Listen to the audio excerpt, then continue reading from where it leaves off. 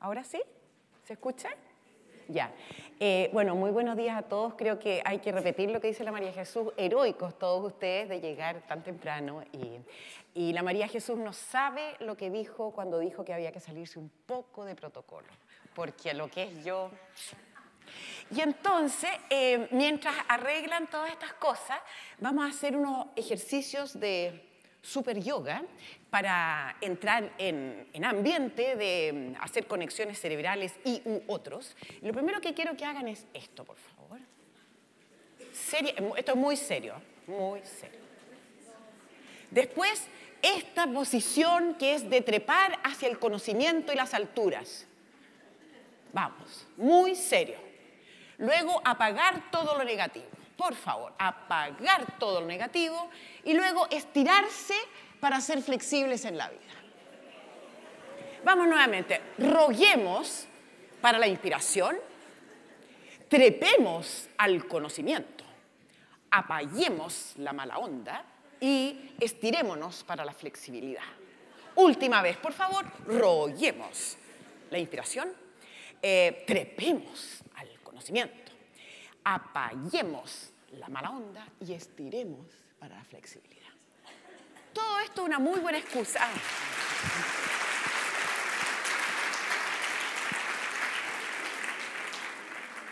Ahora esto, exóticamente y por alguna razón que algún día vamos a aprender, eh, está unido a unas palabras y unos sonidos que dicen así. Por favor, trépate al balcón y apaga la luna porque amaneció. Vamos. Por favor, trépate al balcón y apaga la luna porque amaneció. Como es tan grande, esto sale un poquito más lento y eso, bueno, primer como aporte metodológico. Normalmente cuando nosotros estamos haciendo algo con niños de la edad que sea, uno está un poco más acelerado, hace las cosas un poco más rápidas, un poquito más lento para que todos podamos ir juntos y, por favor, trépate al balcón y apaga la luna porque amaneció. Bien, hagamos un poquito más arriba para flexibilizar. Por favor, Trépate al balcón y apaga la luna porque amaneció. Perfecto, ahora yo los dirijo, pero no canto, pero cantan ustedes. Y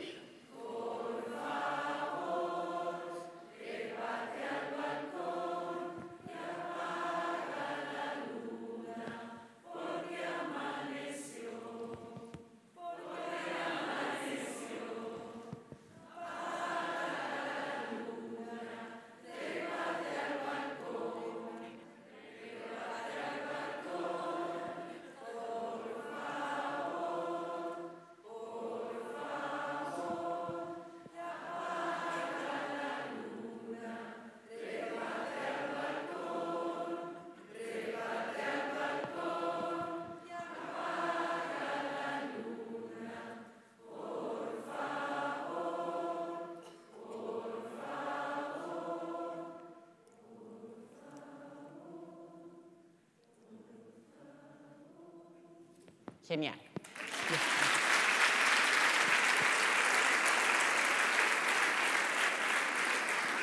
Bueno, eso sería todo, ya lo saben todo, no tengo nada que decirles. ¿ah? Bueno, podríamos jugar mucho más y la verdad que, bueno, el tiempo está bien acotado y podríamos jugar a hacerle un acompañamiento a esta canción y eso los dejo invitados el próximo sábado, nos juntamos aquí, hacemos algo, ¿ya?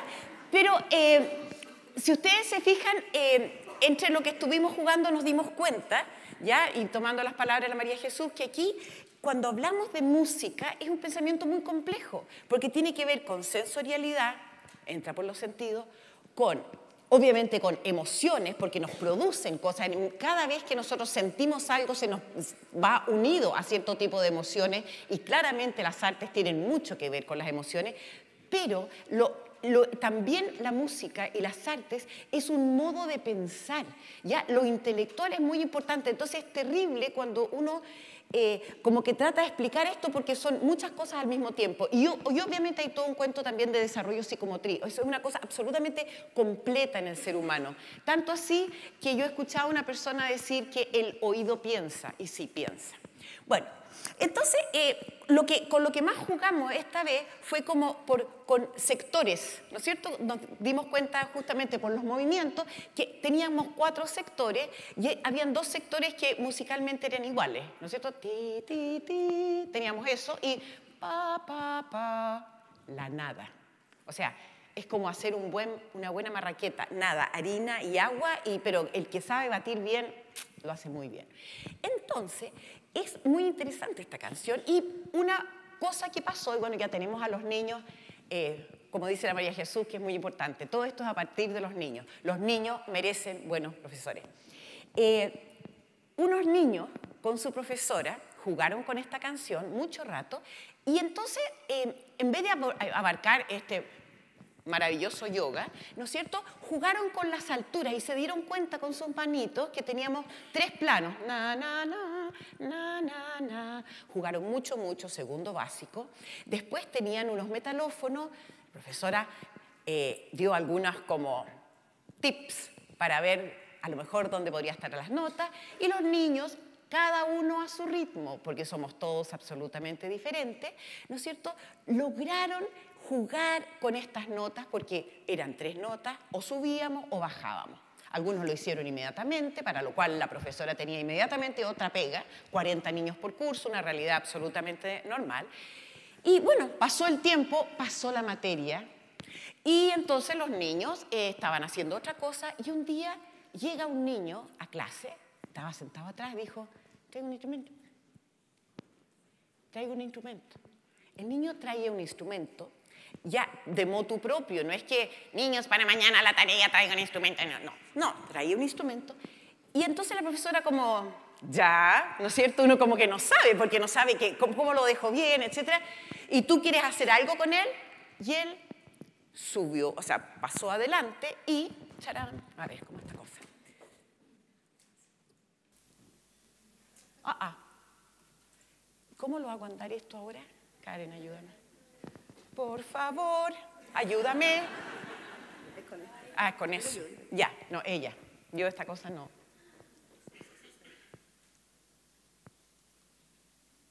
¿Lo probamos en la mañana? No.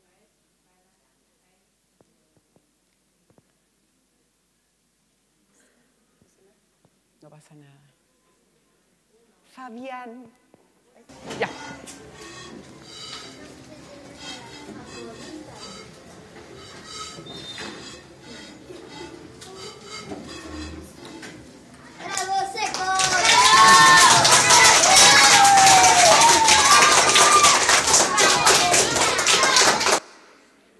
Seco, seco.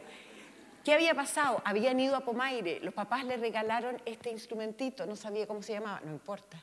Y estuvo, no sabemos, porque no vimos el proceso, que fue lo más maravilloso. Y él hizo su canción y la presentó.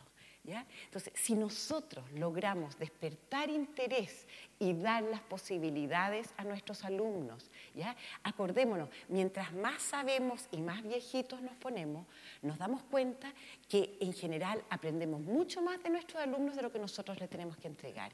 Eso es como una primera cosa así como de vieja que les puedo decir. Y bueno, y vamos a musicar con las bases curriculares. ¿Por qué musicar?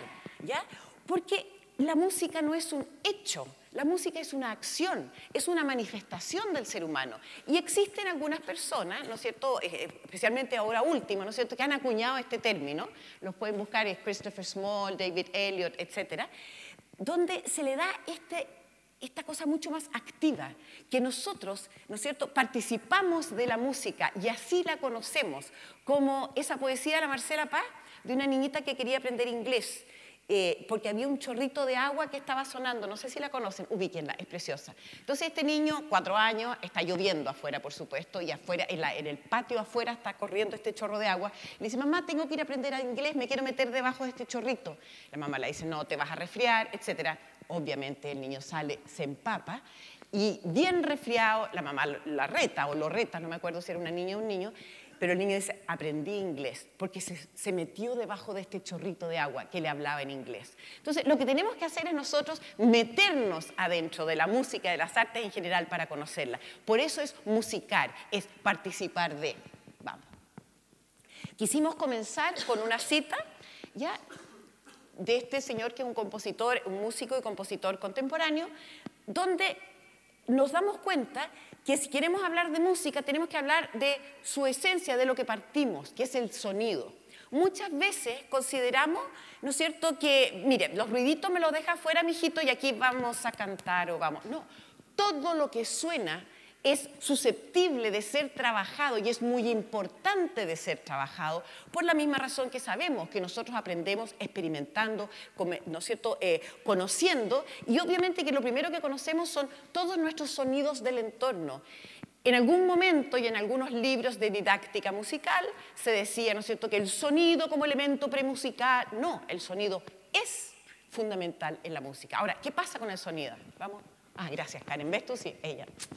Eh, los sonidos nos, rodean, tanto los de la naturaleza como los creados por el hombre. Y estos interactúan en todo minuto, ¿no es cierto? Piensen ustedes, el hombre de las cavernas eh, iba caminando con su pie pelado y eso ya producía un sonido. El día que él se le ocurrió poner, hacerse un zapato con una piel de mamut o algo, esa pisada ya sonó diferente y para él fue un gran descubrimiento. Piensen en los niños de uno o dos años cuando llegan a un lugar nuevo están pendientes de las pisadas. Nosotros ya estamos muy importantes, hacemos cosas importantes, pero se nos olvida las cosas básicas. ¿ya? Bueno, y entonces de estos sonidos que están en los seres humanos y en la naturaleza, ¿ya? es que nosotros empezamos a percibirlos, nos damos cuenta que existen, los producimos, ¿ya? Ahí está el lenguaje, está la música, están las sirenas eh, de, avisos, están las bocinas, y también reflexionamos en torno a ellos. Si pensamos esto como, lo que, lo que estamos tratando de mostrar es como el making of ¿ah? de los programas, o sea, cómo se basa, cómo uno plantea un currículum pensando en, en las esencias, ¿no es cierto? Y bueno, siguiente más, vamos al otro. Y entonces, esto mismo lo dice François Delalande, que es un músico contemporáneo que estuvo aquí en Chile hace poco tiempo. Y él dice, ¿qué es ser músico? ¿Ya? Eh, porque uno siempre piensa como estos señores vestidos de pingüino, ¿ya? Pero no, es ser sensible a los sonidos, o sea, ser capaz de percibir. Todos somos capaces de percibir encontrar en ellos una significación. Ahí lo podría ligar con lo que había dicho la María Jesús. Nos llega, algo nos dicen los sonidos y, tienen un sentido y en la música, ¿no es cierto? Hay siempre un propósito expresivo, cosa que a veces en la sala de clases se nos olvida porque hay que pasar materia. Y resulta que si no entendemos la esencia del significado de la música, ¿para qué lo hacemos? ¿Ya? Y, y por otro lado, gozar de su organización.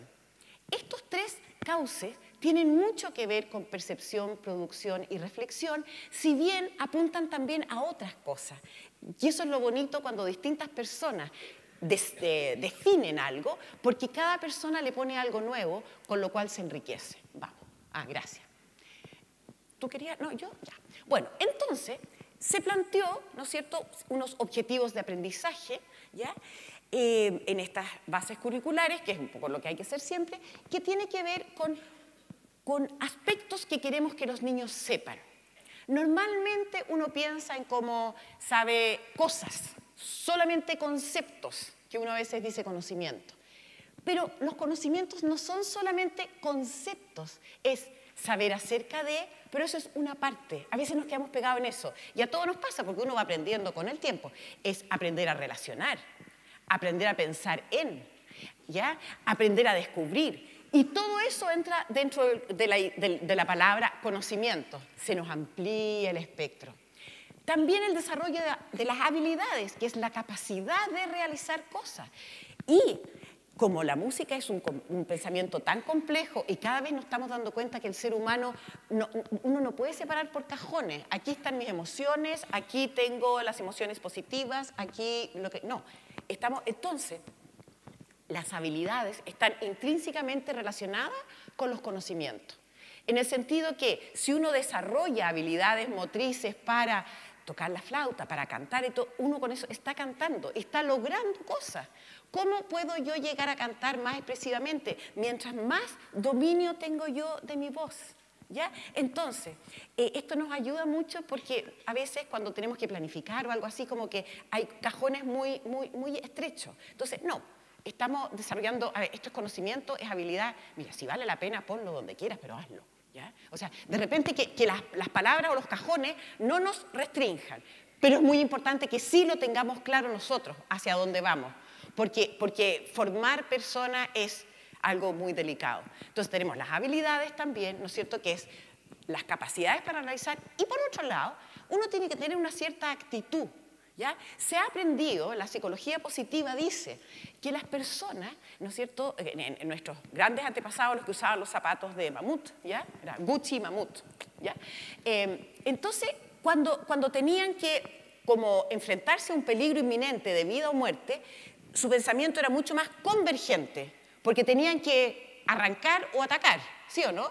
Pues la hora que uno empezaba como a pensar, oh, ¿de qué color es la piel del mamut? Te comieron. Pero cuando estaba tranquilamente comiendo bistec de mamut y veía una puesta de sol, ¿se pueden imaginar? Con, nada de casas, una, una cosa maravillosa. Él tenía tiempo de reflexionar, de pensar, y en ese momento florecía, ¿no es cierto? Podía desarrollarse mucho mejor los pensamientos divergentes, ya una sensación de bienestar, etc. Y eso lo llevó, ¿no es cierto?, a una de las cosas primeras, a, pintar en, las, ¿no es cierto?, en las rocas. Vayan ustedes, el primer no sé, top ten de la canción del mamut casado, etcétera, etcétera. Entonces, si es que la disposición que uno tiene que tener para el arte surge de un momento de estar muy eh, relajado, pero atentamente relajado, no es como el relajo por el relajo, que eso también es el otro extremo. Entonces nosotros las actitudes que tenemos que favorecer en la sala de clase tienen que ver justamente con sentirse bien con uno mismo, yo puedo aportar, si me esmero, puedo. ¿Ya? Cosa que de repente también nosotros estamos un poco presionados y esa actitud no se alcanza porque va a tocar el timbre, bueno, etcétera, ya, dale. Entonces, resumiendo, eh, la idea es que el desarrollo de las habilidades, conocimientos y actitudes musicales, ¿no es cierto?, eh, las vamos a basar en participación de todos, la comprensión, porque esto del participar por participar y todos hagamos algo y, y, no, no, pasa nada más y no hay pensamiento, sin pensamiento no hay reflexión, ¿ya? Y no hay crecimiento. Y el goce de la música, un goce en un sentido amplio y profundo se comprende en la acción. Es gráfico, está precioso.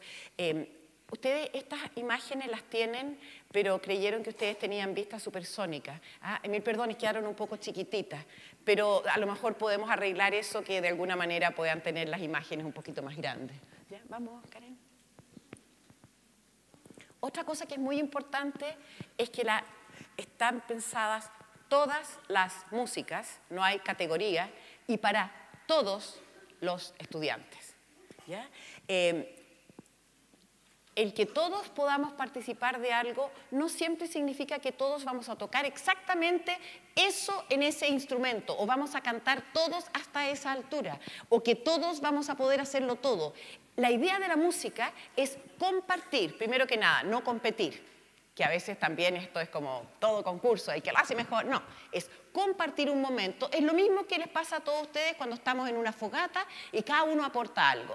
¿No es cierto? El Pancho toca la guitarra, eh, la Mirella canta, el otro aplaude. Y en la sala de clase, ¿por qué no poder aprender así y aprender uno del otro? Entonces, estas bases curriculares están basadas y, y enfocadas en varios focos. Vaya la redundancia. Y el gran foco que hace de paraguas dice que todo lo que pase en la clase de música tiene que ser musical.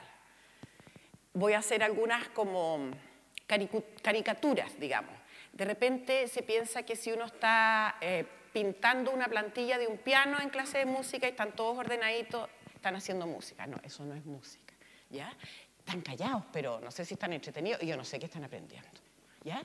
Por otro lado, si de repente un director se asoma por la ventana y escucha unos gritos espantosos y, no sé, un desorden terrible, y es que los niños están aprendiendo el grito de Tarzán, por, ser, por extrapolar, digamos.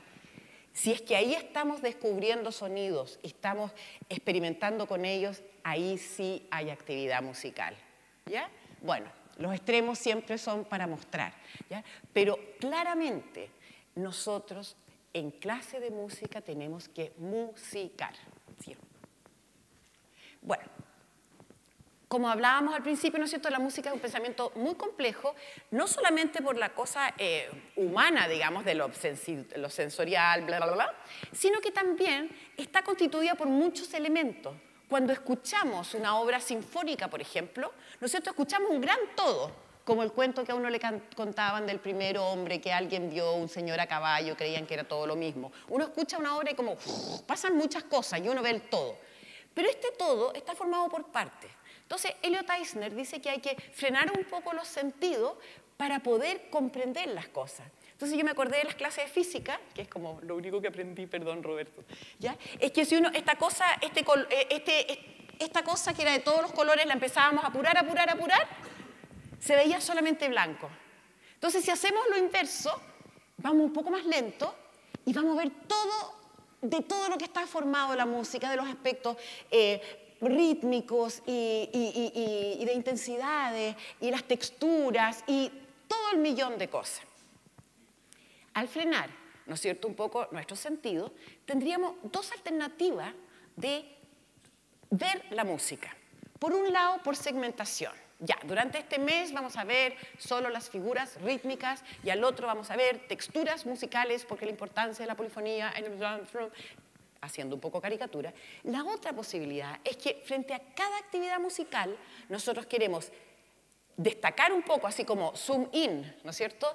Eh, algún aspecto, vamos a hacer un juego musical en el cual la verdad que hay un aspecto rítmico muy importante, entonces le vamos a dar mucho, pero no dejemos de lado todo lo demás, porque estamos hablando de un, medio de expresión donde está hablando de una, de una completud, completitud, ¿ya? Bonita palabra.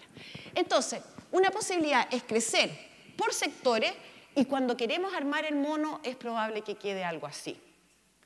En cambio, si vamos trabajando, ¿ya? y yo esta imagen se la debo a una gran educadora musical que se llama Violeta Hensi, ¿ya? que yo creo que ustedes deben de conocer, y que ella tiene, eh, digamos, ha sido maestra mía especialmente a través de libros, porque yo, digamos, nunca tuve clases con ella, pero esto hace mucho sentido. Entonces, tú en una actividad musical vas a trabajar lo que quieres trabajar, pero todo lo demás también. Y con eso uno está alerta a lo que pasa con el niño, porque puedes que para uno el aspecto rítmico era muy importante, pero un niño descubrió que en esa actividad él descubrió un aspecto tímbrico que uno dijo, chuta, para la otra vez lo voy a hacer. Entonces, es como estar siempre, esto, es muy como dialogante, estar como muy en contacto con los alumnos. ¿ya? Y entonces así vamos creciendo, ¿no es cierto?, musicalmente en espiral porque siempre uno retoma todo lo que había para seguir creciendo y cada uno de nosotros sabrá o no sabe dónde está en el espiral, pero zambúyanse en él, vale la pena. Otro foco importante es integrar la música, ¿no es cierto? Primero con los otros medios de expresión, porque claramente la esencia de la expresión artística es una misma. Vuélquela yo en un de una manera visual, de una manera sonora, de una manera corporal, sonoro-corporal, porque hay muchas integraciones, etcétera, etcétera. Entonces, quise traerles algunos ejemplos, porque uno siempre, los ejemplos y los niños lo saben hacer mucho mejor que uno. Este, estos son dibujos de unos niños que escucharon una canción de un amanecer. Esto fue muy bonito porque el día estaba muy nublado y un grupo de personas le cantaron una canción de la salida del sol y, se les dijo, les trajimos el sol. Bueno, se contaron algunas cosas para que los niños escucharan esta canción. Y si ustedes se fijan, estos soles son protagonistas del cuento.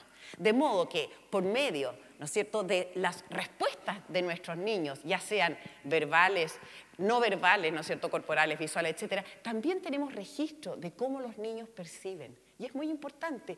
Y además apuntamos a la individualidad. Cada uno de estos niños, bueno, eran 30, no vamos a poner los 30, pero miren este sol como canta él, ¿ya? En las montañas típicas, que aquí las expertas nos van a decir que son típicas de cierta edad, este sol está radiante de feliz. ¿ya? Este sol está contextualizado, que es muy importante porque este grupo de personas cantó adentro de la, de la iglesita que había en esta escuelita, ¿ya? Entonces, y el sol está como llegando. Y, este sol tiene esta típica cosa de los niños cuando están emocionados, que a uno le escriben corazoncitos y te cero mucho y esas cosas, ¿ya? Eso lo dijo un niño de siete años, no fui yo. Es bastante profundo, ¿no? Uno pensaría como, a los siete años los niños no tienen conciencia de lo que es pensar. Mentira. Vienen de vuelta. ¿ya? Y por último, aquí hay una... Te saltaste uno. Miren, esos niños están jugando con el metalófono, son unos niños de preescolar, y entonces eh, el profesor les ofreció hacer su canción, pero el hacer la canción no fue por las alturas, sino que por las, por las barritas. Entonces los niños jugaron, hicieron una, una, pequeña escultura con las barras y era como, ¡Ah! ¿qué va a sonar? Y cada canción sonaba distinta. ¿Por qué no? Integrado. Vamos, ahora sí, Karen. Otro punto importante que, es eh, que, queremos reforzar es el cuento de cómo transmitir la música, digamos, cómo, cómo realizar esto. Obviamente que es fundamental tener un repertorio, tener mucho, mucho material con el cual interactuar y jugar con nuestros niños. Jugar en serio, obviamente, ¿ya? Un jugar que lleva aprendizaje. Entonces, es por eso que se sugiere algún repertorio, no hay ninguna imposición, por favor, sino que se sugiere algún repertorio que ha sido probado, ¿ya? Y eso mismo le puede dar ideas a ustedes, ¿no es cierto?, de incorporar otras cosas, de crear cosas, ojalá, ¿no es cierto?, repertorio tanto a escuchar como a interpretar. Por otro lado, la ejercitación. ¿Ya? Nosotros sabemos que en las artes es una de las disciplinas del ser humano que requiere más tiempo. Tiempo porque hay que dele que suene y una vez más y cuántas veces por favor mientras ustedes se lo estaban aprendiendo, además lo hicieron muy rápido, a ver cómo se lo van a aprender, hasta el último de atrás que se lo supo, etcétera, etcétera. Pero ese tiempo tenemos que saber ocuparlo muy bien. ¿Qué pasaba antiguamente o lo que me pasaba a mí en clases de arte? Eh, así ustedes me van a tener que analizar después, pero era como, hmm, decía la profesora, vaya, hágalo mejor. Yo me había mirado y lo encontraba precioso. Mejor es qué, mejor que qué. Pero si me hubieran dicho, fíjate, a lo mejor podría jugar con el color o podría hacer esto. Al ensayar también las clases de instrumentos, estudie más. Pero ¿cómo más? ¿Más rato que uno miraba las escalas y las odiaba y no hacía nada? ¿O mejor? Mira, en poco rato, hasta que tú logres solucionar esto, tienes todo arreglado. Entonces, es a nosotros los profesores saber ocupar esos tiempos de la mejor manera posible para que la ejercitación, que es tan fundamental, se transforme en algo significativo que se logre el aprendizaje, que los niños no se aburran. Y cuesta a veces porque de repente el machaque es grande. Y o sea, nosotros buscar maneras interesantes. Es muy bueno el ensayar, por ejemplo, en grupos pequeños, el aprendizaje entre pares, que eso es una cosa que está muy al día y, se, y es cierto, a mí me escandalizaba un poco eso. Yo creía en la cosa más individual y todo eso, pero, pero es cierto. ¿ya? Y yo lo he experimentado con alumnos chicos es inmenso. ¿ya? Se ayudan entre ellos, se explican entre ellos, se ensaya y uno puede ir de grupo en grupo, ayudar. Mira, aquí lo que les falta, ya, perfecto. ¿Pueden? Uno al otro grupo, mira, aquí pónganse más de acuerdo con esta otra cosa. Entonces, todo esto nos ayuda. Por otro lado, la música se transmite, ¿no es cierto? Tenemos como dos grandes cauces, aunque hoy en día ya son tres. Por un lado, tenemos la transmisión oral, ¿no es cierto? Que tiene sus códigos, su modo de transmitirse. Por otro lado, tenemos una tradición escrita. ¿ya? Eh, no, se, no se impone ninguna, ¿ya? y cada profesor tendrá que tomar la decisión de cómo y cuándo ocupe los distintos tipos de transmisión. Y hoy en día tenemos la transmisión digital también. O sea, de repente tenemos una creación grupal y la grabamos, y así la que dejamos, ¿no es cierto?, grabada y quedará en la memoria para siempre se dan muchas sugerencias, que eso después la Karen lo va a decir, ¿no es cierto?, de eh, sugerencias metodológicas, de cómo abordar la transmisión oral, la transmisión escrita, etcétera, etcétera. Son todas sugerencias para ayudar, no, un, un currículo, ¿no es cierto?, no puede imponer un método, más bien todo lo contrario. Cada niño, cada curso, cada lugar de Chile es diferente. Y bueno, aquí tenemos algunos ejemplos, se fijan, partituras hechas por niños. Aquí tenemos una partitura no tradicional para jugar con un juego con flautas dulces. Aquí tenemos eh, un juego que era a partir de distintos instrumentos. Aquí tenemos un mapa para seguir una, marcha de la marcha de Schumann. pam, pam, pam, pam, pam, pam, pam. Y también tenemos las partituras tradicionales. ¿okay? Y al fin llegamos a los ejes de música. ¿ya? ¿Ustedes se acuerdan? Percepción, producción, reflexión. Esos grandes, o ser sensible a los sonidos, encontrar en ellos significación, gozar con su organización, eh, ser, a su significado, ya. Bueno, entonces, tenemos apreciar y escuchar, que tiene que ver con todo lo que uno recibe, el, escuchar es lo sensorial y el saber escuchar, no oír, ¿no es cierto? Oír es como que pasa por el lado, la música cuando uno va al dentista y le ponen, no sé, cualquier cosa y uno dice ya que me atiendan luego, que me cobren poco y que no me duela, ¿ya? Pero escuchar en la clase de música no es eso, ¿ya? El apreciar se toma en dos sentidos. Por un lado es la sensibilidad estética, ¿ya? Una apreciación estética no de que nosotros estamos diciendo que esto es moralmente bueno y solamente les puede gustar lo de la academia, esa típica cosa antigua, pero la sensibilidad de estar abierto a descubrir la belleza en las cosas, las proporciones, si en la naturaleza está, ¿ya? Y por otro lado, cuando uno aprecia, uno vuelca hacia afuera. Y entonces así como vimos los dibujos de los niños de la, canción de la cordillera, o un niño que baila, o eh, las guaguitas de pañales cuando escuchan música. Entonces, al apreciar, uno vuelca hacia afuera y tenemos cómo notar, ¿no es cierto? Primero que nada, es una es una necesidad propia del hombre el expresar. Y por otro lado, también nosotros como profesores podemos notar cómo lo perciben los niños. ¿Ya? Después tenemos interpretar y crear, que aparentemente cajón interpretar, cajón crear. Dijo interpretar y no tocar, cantar, ejecutar. Un niño no puede interpretar, eso es para su meta, que esta tarde viene a tocar. No, porque cuando uno apunta a educación, uno apunta a largo plazo. Entonces, hagamos lo que hagamos, jugamos al chup chuá, chup chuá, chup chuá, guá, guá, hasta eso, ¿no es cierto? Nosotros estamos apuntando a que se entienda el sentido musical, la interpretación, ¿no es cierto? Porque le vamos a dar todo el sentido a esa nota que toquemos. ¿Está claro? Entonces, no es que un niño uno le pida a los siete años que empezó a tocar su metalófono una perfección técnica, pero sí la intención, la intención interpretativa, que descubra su propósito. Bueno, crear. Crear significa todo lo que uno aporte. Y entonces, estos dos términos no están separados, van en una línea. Cada vez que nosotros interpretamos, cantamos, tocamos, le estamos poniendo algo nuevo y cada vez nos atrevemos a, decir, a poner más cosas. Bueno, en forma decreciente a medida que somos adultos, los niños han visto cómo crean mis nietos ahora, que eso me tiene loca, ya crean todo el día, ¿ah? porque ellos escuchan una canción, le ponen letra de otro, o pescan un giro melódico, le agregan otra cosa, o es que es, propio del ser humano, porque la música es, ¿no es cierto?, un lenguaje generativo. Es como el idioma, no, no, se puede frenar. Y la música más aún, ¿ya? Entonces, no podemos frenar eso. Eso es parte, es propio del musical. ¿Por qué lo vamos a frenar en la sala de clase? Luego tiene el reflexionar y contextualizar. Reflexionar tiene que ver de reflexionar con respecto a lo que escuchamos o lo que hicimos para ver qué pasó, qué nos llamó la atención, cómo podemos mejorar, eh, eh, qué conocía algo parecido, etcétera, etcétera. ¿No es cierto? También reflexionar en torno a la obra, a qué elementos de la música descubrimos, es que era tan fuerte, es que, es que sonaba plano, ¿cómo lo podemos hacer mejor? Y contextualizar, porque la música, ¿no es cierto?, siendo una actividad humana, está dada en ciertos contextos. Y entonces es totalmente distinto escuchar el feliz cumpleaños que canta la Marilyn Monroe, ¿no es cierto? Happy birthday, Mr. President, a cuando se lo cantamos a nuestro niño de un año. Los contextos son distintos y así podemos entender las músicas. Ay, qué fea, me acuerdo algunas alumnas mías cuando como escuchamos a la Violeta, qué fea la voz. No, es distinto que si tú estás acostumbrada a escuchar voz de ópera, es otra cosa, porque es otra persona, en otro lugar.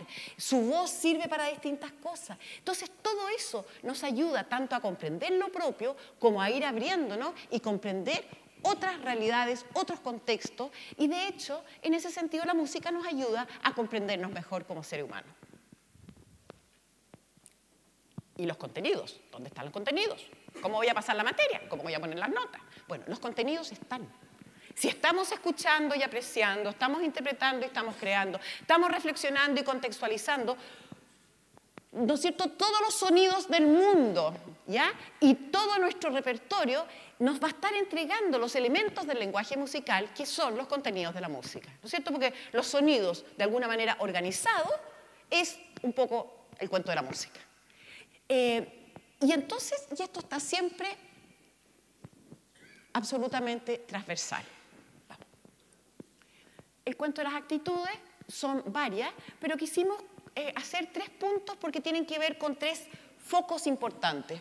Por un lado, desarrollar la capacidad de asombro. Eso sí viene, viene con el ser humano. ¿Para qué la matamos después en el colegio? Cállese, ¿no? ¿Ya? Eh, desarrollar la curiosidad, el disfrute, la valoración, el respeto, la comprensión. ¿Ya? Kira Negan, que es un, gran educador, habla que si nosotros lográramos despertar el interés en cada niño en algún tema en forma más profunda, tendríamos seres humanos más únicos e irrepetibles, serían expertos en algo que nadie más lo es, y que en la educación en general tratamos de que todos sepan de todo, pero bien superficial, entonces al final no sabemos nada de nada y nada nos interesa. Entonces cuando le dicen, porque obviamente cuando uno tiene una idea tiene que ponerla como con fuerza, ¿ah? pecho las balas, como dice este gallo. ¿ah? Entonces él dice, en preescolar a un niño le dan un tema, manzana, ya. En cuarto medio va a ser experto en manzana y las otras asignaturas. A través de las manzanas va a llegar a todo. ¿Y no se va a aburrir por las manzanas? No. Y ahí dice una cosa muy importante. Uno se aburre cuando no sabe lo suficiente de algo. A mí me pasa con el fútbol, no sé, a otros con otras cosas. Y es cierto, mientras más uno sabe, más uno se mete. ¿ya? Entonces, eso también es bien importante que nosotros lo sepamos. Ahondemos con nuestros niños, ayudémoslos a descubrir sus intereses. Por otro lado, ayudarlos a desarrollar, ¿no es cierto?, estas disposiciones a comunicar en forma verbal, corporal, musical, etcétera, etcétera, etcétera. O sea, que ellos tengan la oportunidad porque si hacemos unas clases muy frontales donde somos nosotros los que decimos, nosotros los que decidimos por ello, qué sé yo, entonces al final de año le decimos, invente algo, y dice, ¿qué? Ay, estos niñitos no tienen iniciativa. Bueno, si no se la no, no, no le dimos la oportunidad, por favor, ¿ya? Y por último, un aspecto humano transversal que es fundamental, ¿no es cierto? Desarrollar la confianza en sí mismo, ¿no es cierto? La, la disposición a participar y colaborar. Porque cuando uno se siente ayudando, es lo típico que los niños chicos cuando están muy chiquititos ya uno le quieren ayudar en las compras del supermercado, que les ponen y ponen cosas, ya después cuando ya pueden ayudar de verdad no. Entonces, pero, pero en clase sí lo podemos lograr, ¿ya? Busquemos la manera que ellos, teniendo confianza, pueden ayudar a que esto lo podamos llevar a cabo. Chara, música, cambio de voz, ya. Ya, tú me dices, ¿cómo, se aprieta? Cinco minutos. Ya. No, no, vaya.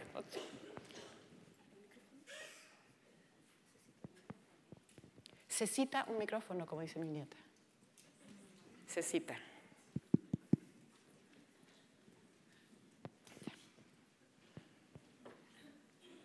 Bien. ¿Ahí se escucha? Sí. A partir entonces de, la, de, las bases curriculares, ya que en el fondo es eh, los principios, las ideas fundamentales en las cuales se construye ¿cierto? esta propuesta curricular en música, y tan maravillosamente además explicadas, ¿ya? Están los programas de estudio, ¿ya? De primero a sexto año básico. Los programas de estudio se estructuran a partir de estos puntos, ¿ya? Eh, las orientaciones y la estructura general van en todos los programas de estos niveles, de todas las asignaturas, ¿ya?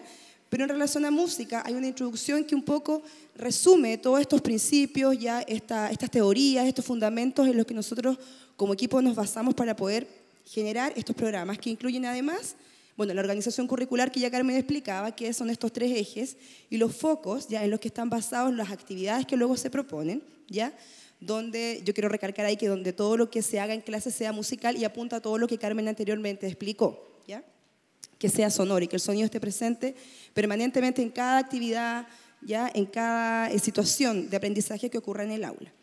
Eh, las orientaciones didácticas apuntan un poco a eso, que también aquí Carmen explicaba y ahondaba un poco, de cómo eh, abordar ciertos, ciertos conocimientos a partir del hacer musical, ¿ya?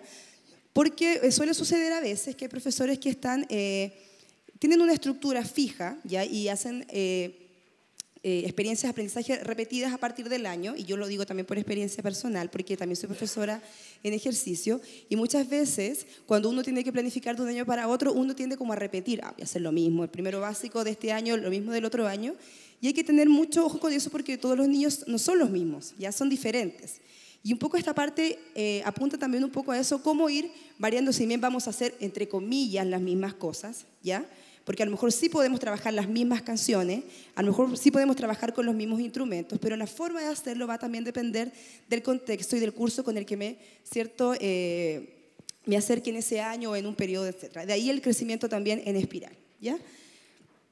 Orientaciones de evaluación, y aquí quisimos nosotros poner mucho énfasis, porque evaluar en música evaluar en arte, me imagino que también es muy difícil. ¿ya? ¿Por qué evaluamos nosotros en música? Evaluamos que un niño de seis años logre cantar afinado algo en un mes, en dos meses, no. ¿Ya? Nosotros enfocamos la evaluación a algo mucho más amplio que tiene que ver con las actitudes, que tiene que ver con los focos, ¿ya? Y ahí, un poquito más adelante, mencionamos a un, a un señor Martin Fotley, es un inglés, experto en evaluación de música, tiene un libro maravilloso, donde él da muchas herramientas para, con pautas de evaluación, con rúbricas, ¿cierto? Para poder evaluar aspectos que son musicales, Y no salirse del aspecto musical. Y es, es difícil, porque uno también, a veces en la formación que uno ha tenido, eh, y, también es otra autorreferencia, eh, cuando yo tuve evaluación en la universidad, a mí me enseñaron a hacer pautas de evaluación, pero no pensabas en la música y no mirabas a partir del arte, ¿ya? Y por eso nuestras orientaciones de evaluación apuntan a eso, a evaluar, pero a partir de la mirada de la música, a partir de la mirada del arte, del crecimiento del niño, y no tanto de los contenidos. ¿ya? La base curricular es todo lo que ya Carmen había mencionado, que aparece también, y la organización anual de los objetivos que están por año, y además están organizados por eje. Hay unos objetivos que son más específicamente para escuchar y apreciar, otros que son para interpretar, crear y para reflexionar. ¿ya? Pero y, en las actividades ya uno se puede dar cuenta que estos ejes están entrelazados, no que yo un día vaya a hacer una clase donde solamente vamos a escuchar y otra clase donde solamente vamos a crear u otra clase donde solamente vamos a hablar de lo que hicimos. Es una cosa que es, eh, está en constante movimiento y que se interrelaciona naturalmente además. ¿ya? Y en los anexos eh, hay el repertorio, aquí está. Bueno, está la bibliografía donde están todos estos autores que nosotros hemos mencionado, que sería súper interesante que los pudiesen revisar, porque además hace una pega tremenda de buscar mucha gente que hable desde la música y la educación y gente muy eh, actualizada. ¿ya? El, señor Martin Foder, el libro es del 2010, está muy, muy atingente. ¿ya? Y estas pautas de evaluación que nosotros sugerimos también van enfocadas hacia esto, ya desde la música. Eh, hay un anexo que habla un poco de, de la interpretación vocal instrumental, cómo abordar la interpretación vocal que no va a ser lo mismo cuando yo lo hago en primero básico que cuando yo lo abordo en sexto básico, independiente que a lo mejor puedo trabajar el mismo repertorio, pero qué aspecto técnico a lo mejor yo puedo profundizar, ¿ya? Lo mismo con los instrumentos musicales, cómo se utilizan los instrumentos musicales, hay un anexo eh, muy interesante del uso de la flauta dulce, por ejemplo, en los colegios, ya que yo me imagino que todos los que somos profesores de música hemos tenido algún acercamiento, o porque hemos querido, porque no hemos querido, porque hay que hacerlo, y cómo este instrumento musical lamentablemente ha eh, está siendo mal utilizado. Y ahí no se considera como un instrumento musical con el valor que, que, tiene y además el uso técnico además. Bueno, materiales que es un poco lo mínimo que los colegios deberían a lo mejor requerir para poder realizar estas actividades, ¿ya? Instrumentos musicales, equipos de tecnología, buenos equipos para escuchar música, que es muy importante, ¿ya? Eh, y de repente pasa que uno se tiene que conseguir la radio con la tía del kinder porque no tenemos una sala de música ideal para poder escuchar y que se pueda escuchar además con calidad. ¿ya? Eso también es importante. Y lo dejamos ahí escrito. Un glosario de palabras que también es interesante revisar. ¿Por qué?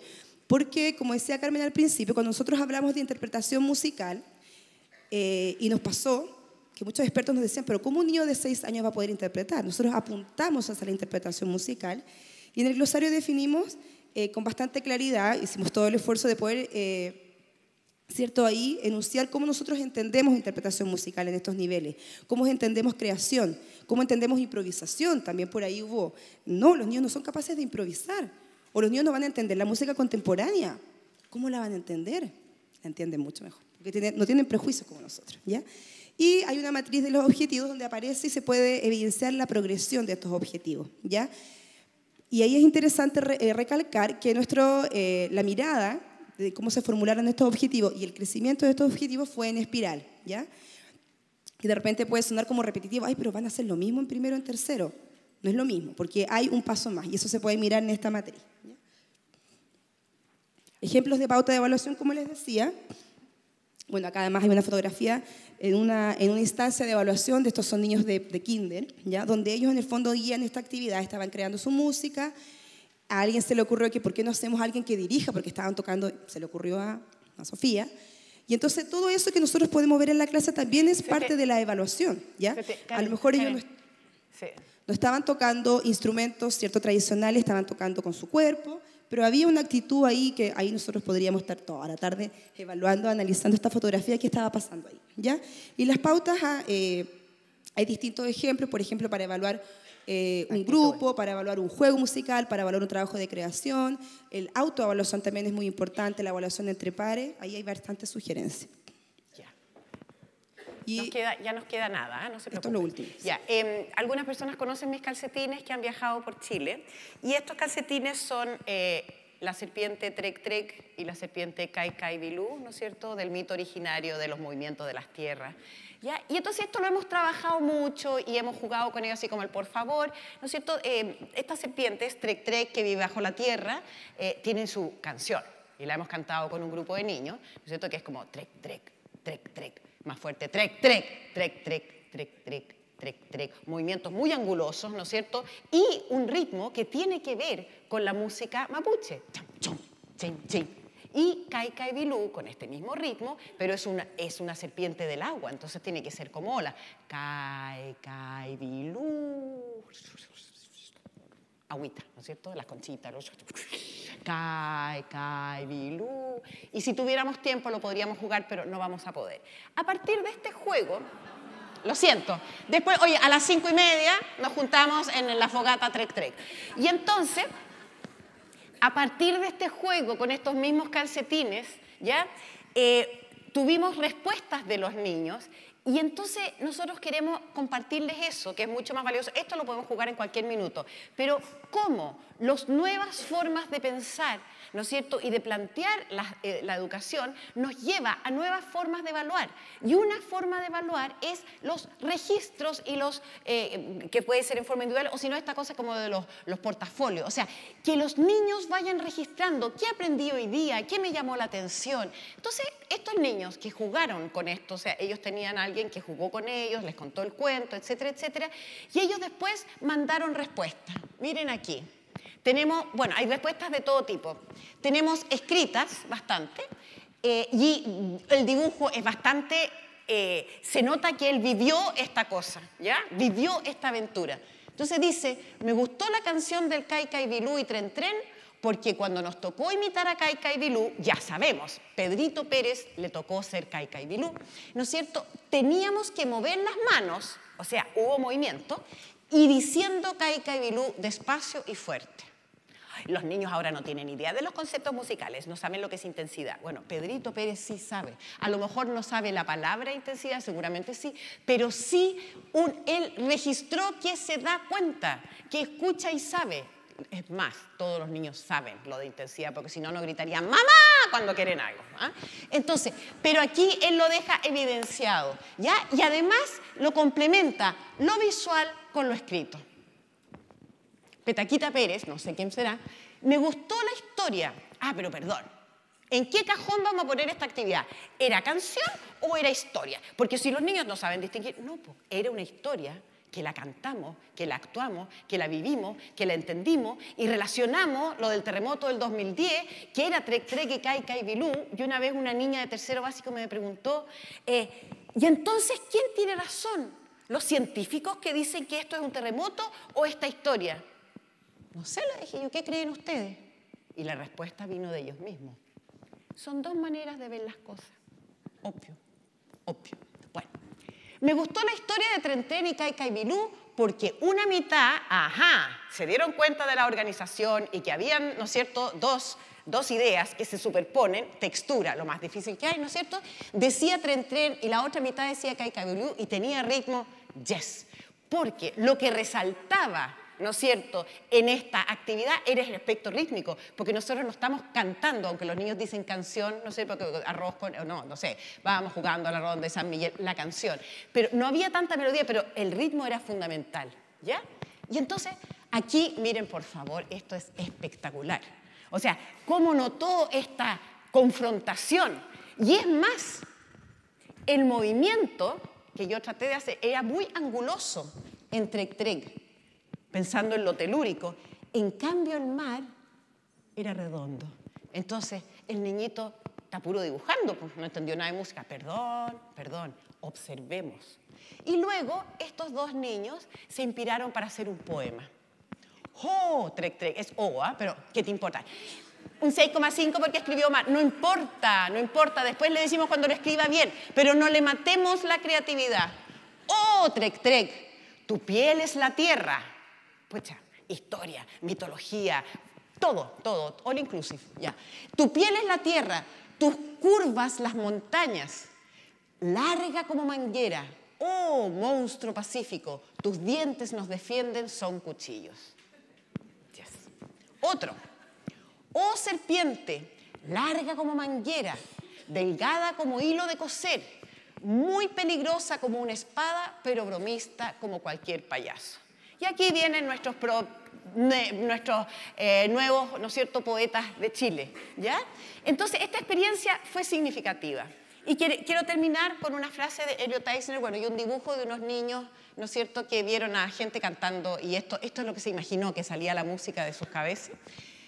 Y que un poco em, tratamos de hacernos cargo, porque Elliot Eisner dice que los programas escolares brindan o fracasan de brindar las oportunidades para que los alumnos aprendan a pensar inteligentemente a través de y acerca de las artes. Ayúdenos ustedes. Muchas gracias. Vamos, gracias.